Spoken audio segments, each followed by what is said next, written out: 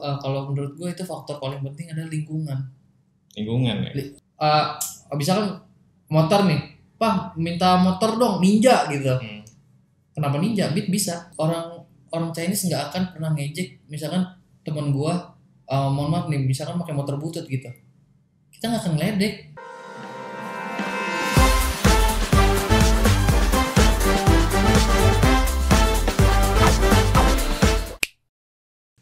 Halo teman-teman balik lagi Halo. bersama gua dan Gue Adrian. nah eh, sebelumnya kita udah sempat ngobrolin topik yang cukup berat ya Iya. ya soal pinjol terus habis itu judi slot dan karir lah karir dan Enteng-enteng aja berbisnis sekarang ya. nah sekarang yang enteng-enteng aja nih kayak gue sebenarnya jujur ya gue tuh eh, di teman-teman gue tuh circle gue tuh rata-rata orang-orang yang eh, mayoritas non Islam gitu dan banyak juga dan salah satu eh, perempuan terdekat gue ya pacar atau apa apa enggak itu itu Chinese jadi cewek gue tuh Chinese Wah, susah kalau beda agama. cewek gue cewek cewek gue tuh Chinese nah, Oke. em, Lu manggil nyokapnya apa? AI. gue belum pernah ketemu Tante. sih Wah, jadi jadi bukan bukan bukan bukan cemen apa gimana ya. Gue sebenarnya jujur gue takut. Karena ini semoga nya ini eh, ceweknya nih gak ngeliat nih. Soalnya eh, apa tuh cewek gue ini eh, dibilang gimana ya? Salah satu eh, bapaknya tuh salah satu mafia. Jadi gue gue pernah deh ada ada ada case lucu. Ya, tuh dong. dia dia rumahnya di Jakarta Barat dia tuh nggak pernah ngomong kalau misalkan dia tuh anak orang kaya anak bla bla bla bla bla segala macem lah. Gue pernah nganterin nganterin dia dari kantor gue yang lama ke rumahnya dia setek. Pas pertama kali gue ngeliat dia kan ngomong ya "Eh, rumah rumah gue tuh nggak gede. Rumah gue tuh nggak gede. Oh ya udah. Tapi banyak. enggak rumahnya bener nggak gede enggak gue bilang gede juga. Kecil enggak gede enggak. Nah, cuma di depan rumahnya itu adalah ada dua truk. Kalau lu pernah tahu Mercy Unimog, lu pernah dengar nggak? Nah, belum belum. Tapi truk. Truk. Truk. Kalau kalau lu pernah lihat orang demo, ada polisi, ada truk yang segede gaban, nah itu Oh, ada tiga. Iya, iya, Terus iya. gue bilang kan ini dapat dari mana? Nggak tahu. Ayah katanya bawa udah lama. Terus pas gue masuk nih kayak kayak pagernya tuh kayak kayak cuma segini. Gue tau gak sih pertama kali gue ngebuka kan kita ada Ferrari coy. Oke.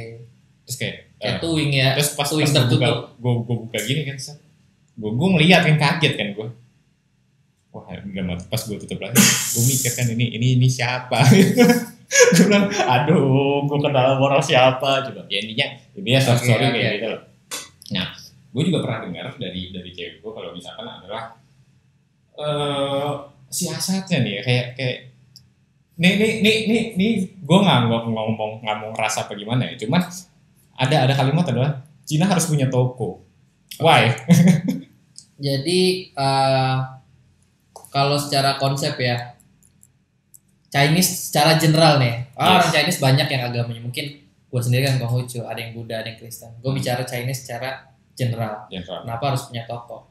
Jadi memang awalnya orang Chinese itu adalah pendatang.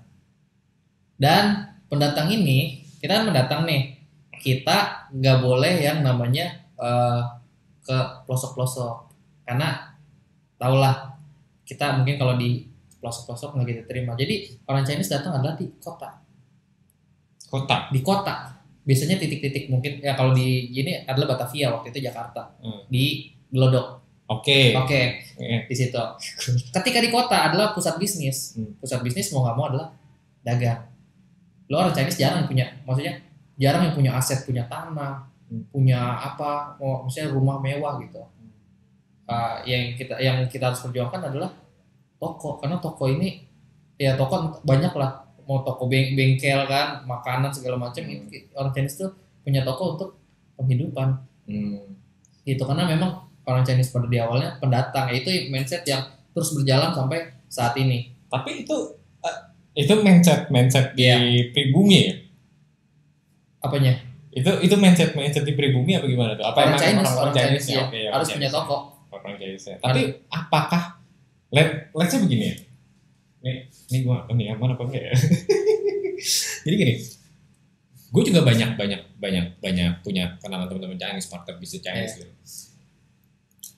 Apakah memang seaktual itu kalau misalkan orang Chinese itu lebih ulet dibanding orang pribumi lu mau jawab enggak? Iya, oke. Karena kita eh, ini loh, kita orang Chinese ini, eh, yang sekarang itu banyak lah yang kita juga sudah beralkulturasi dengan budaya Hmm. Indonesia. Eh, tadi pertanyaan lo apa tadi? Apa apakah Apakah benar benar nih orang Chinese itu lebih lebih ulet? lebih ulet? Iya, kalau bisa gue bilang iya karena sebenarnya mindset didikan gitu. Hmm. Eh, yang di mana eh, kita harus lebih ulet karena kita memprioritasin yang namanya eh, pendidikan ke turun temurun nih. Oh, pendidikan. Hmm. Oke.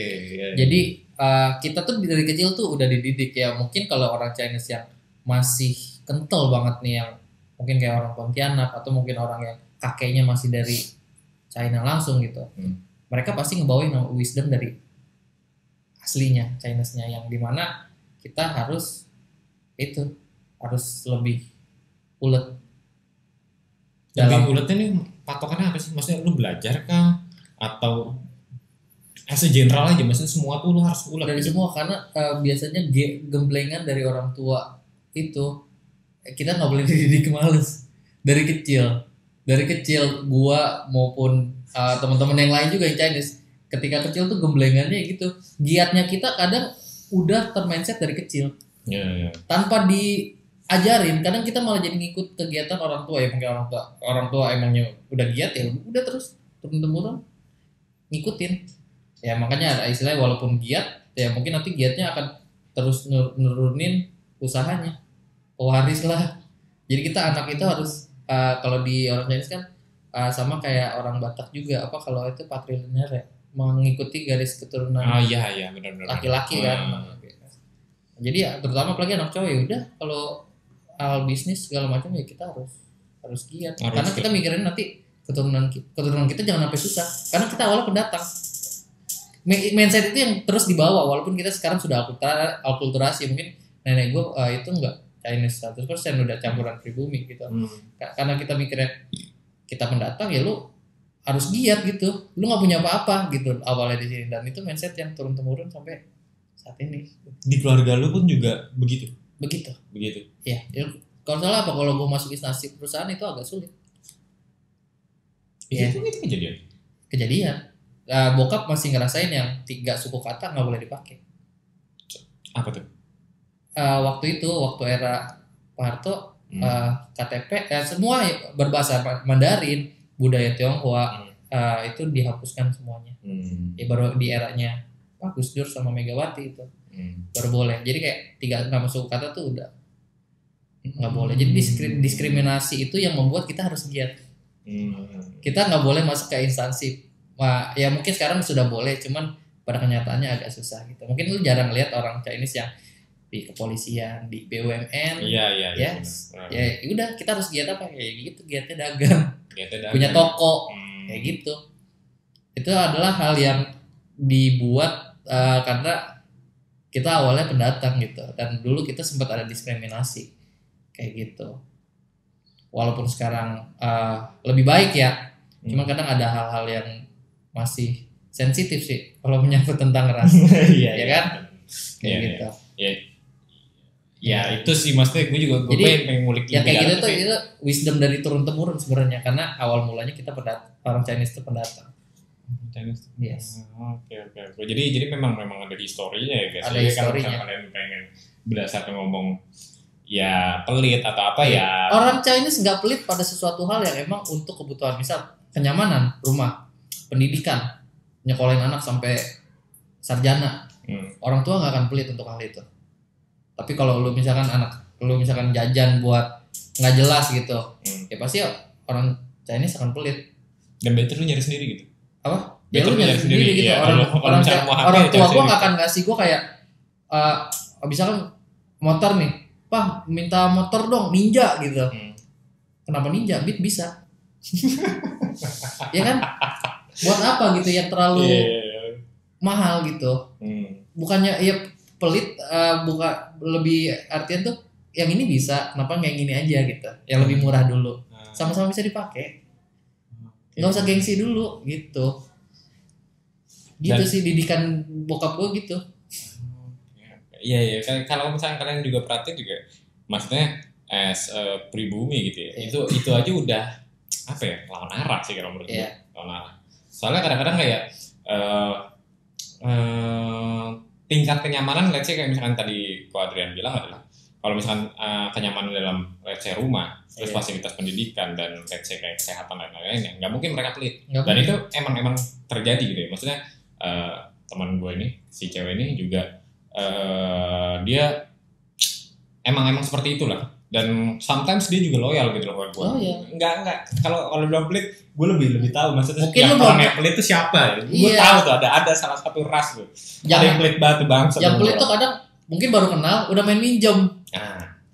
kalau udah kenal deket dan kita tahu nih orang emang ya Bisa aneh-aneh lah bisa Ah. dipercaya ya nggak akan Percaya. pelit gitu. Kayak ujuk-ujuk lu baru kenal sama gua pinjem dong cepet. Ya nggak bakal gua kasih juga. Susah. Iya Iya, iya. kalau misalnya kalian kalian perhatian tuh ya Chinese tuh nggak nggak nggak nggak nggak pelit lah, maksudnya nggak nggak sekasar apa yang Iya, kalian bayangkan iya. gitu. Maksudnya banyak kayak let's say yang memang salahnya tuh mungkin ini ini gue gue balik lagi ini sekali lagi ini mau diupload di YouTube ini ini perspektif gua kalau ada ada ada salah kaprah lah misalkan dari dari dari dari orang-orang pribumi itu kalau misalkan tentang Chinese itu seperti apa gitu loh dan ya salah satunya kayak gitu nah ini eh, kalau lu perhatiin ya kok ya ini kira-kira kalau misalnya lu perhatiin dari dari minusnya atau enggak dari kehidupan dailynya gitu loh siasat-siasat apa sih trik yang bisa biasanya lu bisa kasihin gitu karena anak muda gitu kalau misalnya lu lu perhatiin kan kayak Hmm. kayak di obrolan topik sebelumnya adalah banyak yang kejerat pinjol terus habis itu judi slot terus ya hal-hal negatif tuh banyak gitu loh. nah dan kalau gue perhatiin mostly tuh yang kena tuh orang-orang pribumi nih Hmm, oke Lo, lo ada trik gak sih sendiri? Orang-orang Chinese tuh jarang. Gue Jarang. bener jarang lihat Iya. deh. Aduh gue kejerat pinjol nih. Mungkin ada, mungkin ya. Tapi hampir ya mungkin cuma 10% kali ya itu uh, kalau menurut gue itu faktor paling penting adalah lingkungan lingkungan ya. Orang orang Chinese nggak akan pernah ngejek misalkan teman gue uh, mohon maaf nih misalkan pakai motor butut gitu kita nggak akan ngeledek. Karena kayak di SD aja nih kayak gue waktu kecil gue pernah nangis gara-gara dikatain mata gue sipit gitu. Kalau gue sesama yang temen kita gue pernah jadi SD sampai SMP gue di sekolah negeri. Hmm, yang di mana gue minoritas. Hmm. tapi ketika gue di SMK dan kuliah gue jadi mayoritas. Tapi dengan teman-teman yang lain gue malah seneng belajar budaya oh ini loh bedanya kita ya Mau ada yang pribumi yang itu dari Sumatera dari Kalimantan dari Ambon gue belajar gitu tapi ketika gue di SD sampai SMP kok kayak nggak ada orang nanya gue eh kalau di orang Chinese gimana sih tapi malah ngebully gue Iya iya. iya, Gitu. Iya iya. ketika gue masuk lingkungan Chinese tapi ada orang yang beda kita malah pengen tahu Iya iya iya iya, benar benar benar. balik lagi sebenarnya faktor utama itu sebenarnya di lingkungan gue kenapa gue nggak pernah terjerat pinjol ya dengan gue yang yang saat ini pun masih biasa-biasa aja nggak ada temen yang ngeledek teman-teman gue nggak ada yang ngeledek gitu ah, lu pakai ini doang nggak ada beda sama teman-teman gue kalau yang dulu di teman teman SMP ya pasti mikir kayak ah lu, sekarang udah kerja gitu tapi nggak pernah nggak pernah traktir kita Hmm. itu itu ada bedanya Iya iya iya, sering sering sering sih gue. Jadi faktor utama sebenarnya lingkungan. Sampai orang bisa terjerat pinjol itu lingkungan. Jadi gue pun eh, dari lingkungan gue, gue tidak terjebak dengan gengsi gitu. Ada orang ke pinjol karena gengsi kan. Karena Iya. di lingkungannya mungkin kayak ah, kalau lu nggak pakai iPhone, lu bukan lifestyle gua. tinggi Oke, banget gitu ya. Iya, lu bukan Iya, gua. iya. Tapi kan orang Chinese kalau selama lu satu pemikiran gitu, eh, dan di luar perekonomian lu, ya udah kita sat- satu gitu. Ya basicnya ya pasti semua orang struggle gitu Iya, kan. struggle, semua orang Dan- struggle. dan kalau gue perhatiin ya rata-rata gitu kayak misalkan ya banyak orang di luar sana tuh nggak mau ngelewatin fase Iya. struggle-nya dan tujuannya tuh rata-rata tujuan akhirnya ya final uh, final end game-nya adalah mereka tuh flexing gitu. Flexing ya flexing itu itu bahaya banget sih kalau menurut gue sih. Cuman mungkin yang kalau saat yang dikhawatirkan adalah ada beberapa kom- komunitas yang masih Chinese gitu tapi mereka mengeksklusifkan diri kayak gitu. Contohnya mereka nggak mau berbaur dengan uh, bisa dibilang mereka masih bermain dengan kasta-kastaannya. Kalau gue sendiri gue udah gue udah banyak main dengan uh, teman-teman dari berbagai ras gitu. Jadi ya gue kalau gue udah biasa aja. Ada beberapa mereka yang mungkin dari lingkungannya dia dari kecil sampai saat ini tuh ya udah murni Chinese. Jadi di dalam tempurung mereka pun kalau temenan sama yang lain masih ada yang berpikir kayak gitu. Teman yang lain kenapa Ah, ya mungkin kalau lu main sama ini lu ya lu ah, ya nggak nggak bisa bikin maju gua lah. Berpikirnya masih masih yang kayak gitu. Dan kadang kalau yang yang orang Chinese masih main sama non Chinese kayak ah, ya masih rasis. Ada beberapa yang masih rasis. Itu ah, ngingetin aja sih kalau yang orang Chinese yang terlalu eksklusif janganlah kayak gitu. Karena ujung-ujungnya kalau kayak gitu bisa merusak ini juga merusak hubungan apalagi kita di Indonesia kan multi culture hmm. jadi ya Berarti mungkin ada ada juga yang nggak cuma- dirinya dia sendiri ya ya yang mungkin ada beberapa orang lain jadi bukan sekarang kita menilai jangan dari ras sih tapi dari mindsetnya hmm. jadi beberapa mindset orang-orang di kita masih ada yang mengeksklusifkan kalau misalkan ras rasnya dia tuh paling keren dibanding yang lain kayak gitu Hmm. Sih yang jangan sampai kayak gitu Hmm. Nah tapi kalau misalnya kayak di luar uh, faktor lain kayak uh, menurut menurut sendiri, menurut sendiri adalah dibanding masnya tadi uh, hal-hal yang udah lu jelasin gitu. Misalnya kalau di di luar kalau misalnya kita ngomong compare ya, compare nge- nge- compare gitu loh. Uh, most of the time adalah yang gue lihat kalau misalnya kayak lu lu jalan-jalan sedikit lah kayak misalnya kayak ke daerah-daerah yang lu main elit gitu. Uh, most, mostly kan rata-rata kan orang Chinese Hmm. dan itu itu selaras gitu dengan apa yang tadi udah lu jelaskan. Tapi apakah apakah uh, at uh, at some point lu pernah berpikir juga gak sih kayak misalkan uh, gue ya gue gue sendiri maksudnya gue jujur adalah gue pernah berpikir kalau misalkan uh, Chinese tuh uh, at some point dia tuh uh, one or two step di depan kita gitu one or two step di depan kita. Jadi ada selangkah dua langkah lebih maju dibanding oke. dibanding orang-orang uh, pribumi kayak gue gitu. Tapi ada nggak sih pernah kayak uh, mindset seperti itu? Kalau misalkan Indonesia ini sebenarnya punya kelebihan. Orang-orang Indo ini sebenarnya punya kelebihan.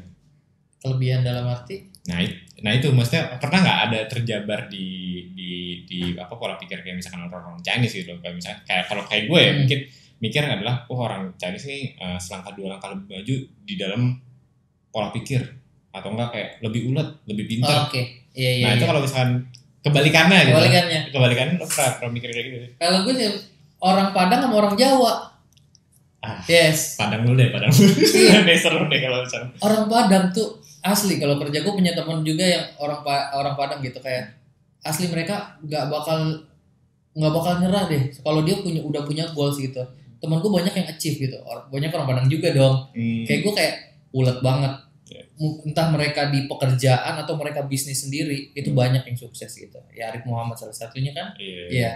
Itu bisa gua acungin jempol kayak kayak gue anjing kalau kayak ulutnya orang sini bisa kalah nih orang Padang nih gitu. Hmm, iya, iya, iya, iya. Tapi itu jadi jadi hal yang positif gitu untuk kita bisa uh, bersaing secara kompetitif Nah, gitu. Ayo Jadi termotivasi. termotivasi kan? gitu. Iya, iya, iya. Kedua orang Jawa uh, walaupun santai Specifically Jawa. Jawa Tengah ya. Jawa Tengah Iya, ya. iya, benar benar. Iya, Jawa Tengah, Jawa Iya. Tengah. Mereka kerja bisa dibilang nggak nggak buru-buru gitu, santai aja. Tapi ulet, konsisten. Makanya kadang kalau uh, banyak HI HI gue yang punya toko gitu, kalau nyari karyawan orang Jawa aja, ulet orangnya gitu. Iya sih, benar. Iya. Sih. Gue gue gue pernah gitu ya, eh, tinggal di ini ini balik lagi ya, gue nggak ngomongin nggak ngomongin ras ya. Jadi kayak gue pernah pernah tinggal di Kalimantan, di Kalimantan Timur, Eh, tepatnya itu di Samarinda. Hmm. Eh, dosen gue nih eh, pengusaha gitu, pengusaha. Dan dia pernah pernah ngomong kalau misalkan gue tuh paling males. Dan dosen gue tuh orang Jakarta juga. Kebetulan ngajar di sana. dia bilang gue tuh paling males kalau misalkan gue itu eh, apa tuh namanya nge-employ orang dari sini Nah, karena memang, memang biasanya uh, yang lokal itu mereka uh, apa ya? Kan deket kali ya. Mereka ya udah mikirinnya yang gua gitu. Beda mungkin orang Jawa datang ke Jakarta mereka adalah sebagai perantau. Hmm. Sama. Mungkin orang Padang ke Jakarta sebagai perantau. Pemikiran orang uh, jadi terlepas dari ras nih adalah pemikiran orang perantau. dan dan dia dia dia juga juga sempat jemput ya gue better nyari orang Jawa dan spesifiknya dia jemput Jawa Tengah gitu terus habis itu ya kenapa karena orangnya tuh ulet laten gitu Ulet lah, tapi mereka yang yang perantau istilahnya baru nih di Hmm. sini. Mereka tuh biasanya giat-giat karena mereka- achievement di otak mereka, gua harus sukses di Jakarta gitu. Karena Hmm. yang saya perantau gitu, gua harus sukses di di mana gua tinggal lah intinya gitu. Hmm. Jauh-jauh gua merantau, kayak gua pulang harus bawa hasil. Hmm. Beda sama orang yang ya mungkin yang rumahnya dekat entah di mana pun. Mungkin orang Jawa kalau ya yang kerjanya di Jawa belum tentu seulet kalau dia merantau. Bisa jadi. bisa jadi Karena dia bisa mikir, jadi bisa ya jadi. udah di sini gua udah nyaman, Hmm. dengan penghasilan segini gue cukup, gue punya keluarga deket, Hmm. ya udah gitu. lingkungannya ketemu Lingkungannya semua ada iya, ya, udah ada semua. nyaman lah jadi nyaman, jadi gue nggak perlu yang harus effort kayak kerja gimana. Iya. Beda kalau perantau ya, ya gue mau misalkan gue pulang kerja malam di kosan sendiri, iya. ya kan? Ngap- ngapain? Ya, gue kerja Ya, terus, kerja aja. terus, Hmm. gitu. Kalau orang yang punya keluarga ya kayak gue mungkin kayak di sini dekat, ah gue pulang kerja, malesnya kerja lagi gitu. Enakan di rumah kumpul sama keluarga. gitu. Hmm, Jadi tingkat iya. keuletan perantau terutama terlepas dari ras adalah pemikiran orang perantau itu lebih Hmm. lebih harus achieve sukses. Iya sih, gue, gue juga beberapa kali juga kalau kalau gue perhatiin nih ya, maksudnya dibanding orang Chinese gitu, maksudnya obstacle gue adalah kalau gue spesifik lah dari orang Jawa Tengah, Hmm. entah kenapa eh, mereka tuh kadang-kadang ada ada beberapa pemikiran yang two step di depan gue gitu kayak Iya sih. nih nih orang bener gak sih kayak anjir kok kok bisa ya kepikiran ke arah ke arah sana gitu kayak anjir pintar-pintar juga maksudnya kayak misalnya kayak kalau Chinese gitu ya mungkin gue lingkungannya banyak sama orang Chinese jadi gue bisa nebak lah Iya. mereka tuh behaviornya kayak gimana cuma kalau misalnya orang Jawa ini bener-bener kayak wah gila bisa begitu ini orang ya Iya. maksudnya in good or bad ways gitu Iya. Banyak teman-teman gue yang de- eh, dari Jawa Tengah ya apa maksudnya orang-orang biasa aja ada orang anak petani gitu. Hmm. Tapi mereka tuh bisa achieve di Jakarta semua. iya heeh, Itu yang gue akuin top banget sih. iya Jadi ada ada saingannya nih gue nih banyak iya nih, iya gitu. iya Jadi jelas jelas sekarang kita kompetitif secara sehat aja. Nah buat buat buat buat kedepanan ya kalau misalnya kayak buat buat karir gitu. Misalkan eh, kan kita maksudnya nggak nggak kita sih kayak lebih lebih tepatnya adalah orang-orang pribumi ini kan banyak banyak menginterpretasikan kalau misalkan orang-orang Chinese itu kan banyak yang kayak pelit lah apalah segala macam menjajah lah Hmm. ya lucu lucu sendiri sih lu lu di kandang sendiri dijajah ya aneh juga sih ya cuman konsep menjajah kan emang kayak gitu ya cuman eh, kira-kira kalau misalnya dari dari lu sendiri ya itu itu memang udah udah kesalahan mindset apa? Nah, bisa dibilang memang apa emang emang mungkin ada ada ada satu momen kita pernah ada konflik lah. Yes. Ada bisa konflik gesekan. gesekan. terus jadinya ya berkepanjangan gitu loh. Jadi Jadi turun berkepanjangan. mau mau nurun ya itu kalimat itu selalu muncul gitu.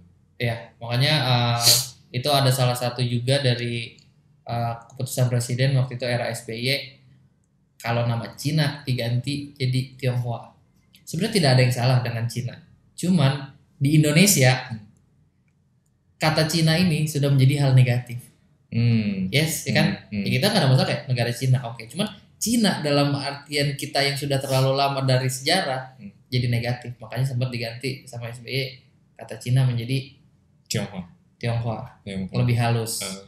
Nah kalau sudut pandang kayak gitu, itu yang bisa nyelamatin menurut gue pendidikan.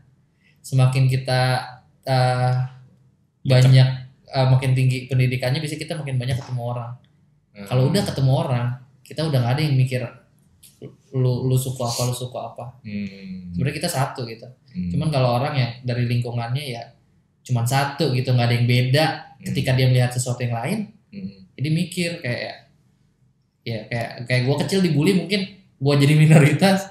Iya mata lu sipit. Karena di lingkungan mereka itu nggak ada yang kayak gitu. Dan ini maksudnya ada ada beberapa background juga yang banyak. Itu ada ada ada ada kaitannya juga nggak sih? Kayak banyak orang China yang ganti nama? Ya, yang banyak yang ganti. yang jadi di lokalisasi ya gitu namanya. bokap termasuk bokap gua. Jadi ti- tiga suku kata ini nggak boleh gitu. Jadi orang Chinese di Indonesia mungkin saat ini yang udah udah di tahun 80-an itu tuh mereka ganti nama Ini namanya aneh-aneh dah Kan ada ada yang jadi jadi tiga suku kata ini tetap ada nah, jadi Wijaya gitu kan Iya betul. kan. Ja- Jadi panggilannya eh, di tempat biasa gitu di lingkungannya dipanggil dengan nama marganya, Hmm. tapi di KTP beda. Iya. Walaupun saat ini boleh, udah males, udah udah terlanjur lama kan nama lokal ini ya udah. Tapi Tapi, tapi lu enggak kan? gua ada nama Chinese gua, cuman memang nggak dipakai. Nama Chinese apa? Ada pokoknya. Gua Laitean. La- Light. La, eh, Lai itu loa gitu.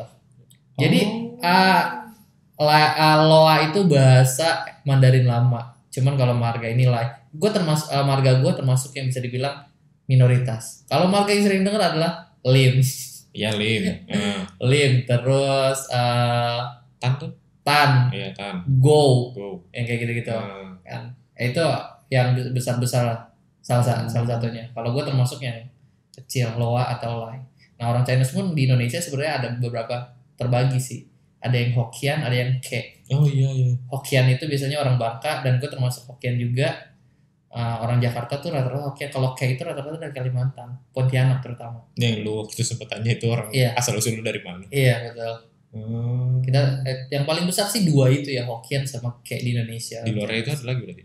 Uh, ada sudah banyak jadi Cina itu dulu ada Cina daratan lah istilahnya Cina lautan nah gue nggak tahu gue pernah baca histori dari keluarga gue kalau marga gue tuh memang asal mulanya dari Tiongkok itu adalah petani nggak aneh kalau gue sekarang ke bisnis tanaman Hmm. Jadi secara nggak langsung turun temurun adalah le- legacy juga gitu. Hmm. Oh gitu. Iya. Oke oke. Dan marga tuh banyak banget asli. Oke. Gue juga nggak hafal sih. Oke pesan pesan terakhir deh sebelum kita nge-close nih. Iya. Kira-kira kalau misalkan dari lu apa?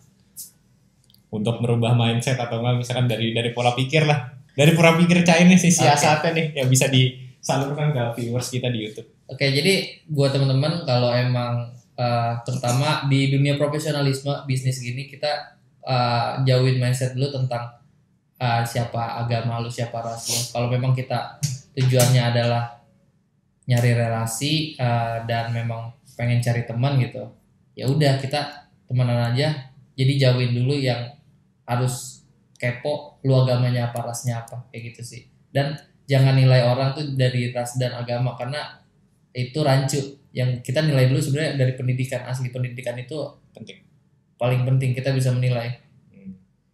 lu mau dari rasa apa pun pendidikan itu uh, biasanya lebih gak mudah dinilai gitu jadi Hmm. jangan mense- menspesifikasikan sesuatu dari ras dan agama sih kayak gitu Oke oke oke. Oke mungkin eh, sekian aja buat episode bersama Ko Adrian. Gua Adit dan gua Adrian sampai jumpa signing out bye bye. See Thank you you. guys.